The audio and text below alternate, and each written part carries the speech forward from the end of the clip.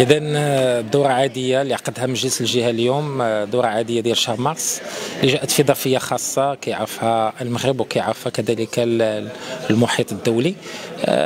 كتأثر بطريقه سلبية على الحياة المواطنين. لأنه إحنا مقبلين على سنة ناقص فيها الماء. وكاين تخوف أنه المياه الصالحة للشرب أنها تكون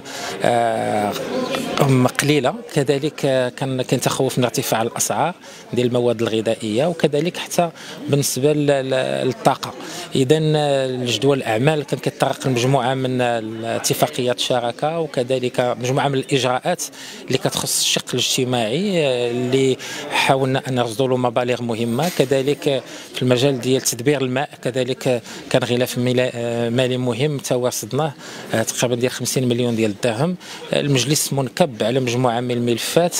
هذا ما كيلغيش على أنه المجلس كيبقى كيشتغل على التوجه الاستراتيجي ديالو في فك العزلة وكيف في محاربة الفوارق المجالية.